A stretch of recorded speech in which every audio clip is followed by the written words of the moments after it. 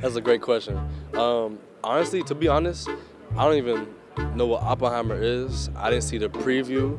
The Barbie movie, I know what that is. Probably won't see that. So if I had to make a decision right now, Oppenheimer. I would say Oppenheimer too, because I've heard um, people talk about Oppenheimer and saying it's a great movie, but it is three hours, I think. So it's a very long movie, so I have to make sure I'm mentally prepared for that.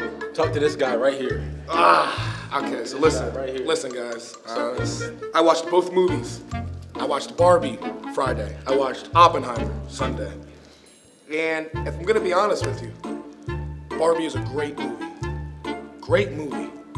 But Oppenheimer takes it.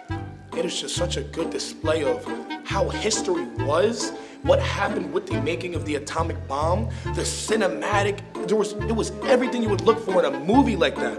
I learned.